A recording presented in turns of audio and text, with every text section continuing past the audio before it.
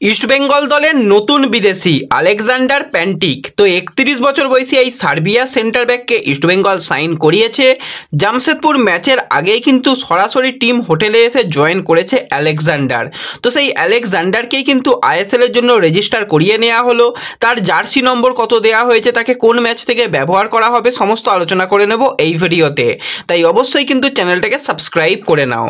তো পারদর পরিবর্তন হিসাবে কিন্তু এই আলেকজান্ডারকে দ্রুত সই করিয়ে নিয়েছে ইস্টবেঙ্গল এবং কোচ নিজে পছন্দ করেছে এই বিদেশি প্লেয়ারকে তো এই বিদেশি প্লেয়ারের উচ্চতাটা খুবই ভালো, সরাসরি জামশেদপুরে চলে এসেছে এবং তাকে আইএসএল এর জন্য রেজিস্টার করিয়ে নেওয়া হয়েছে। তার জার্সি নম্বর দেওয়া হয়েছে আঠাশ।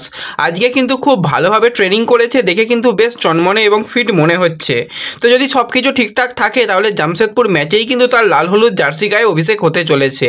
তো হিজাজি মায়ের সঙ্গে ডিফেন্সের নতুন জুটি দেখার জন্য আমরা অপেক্ষায় থাকব। তো তোমরা কতটা এক্সাইটেড কমেন্টে জানিও।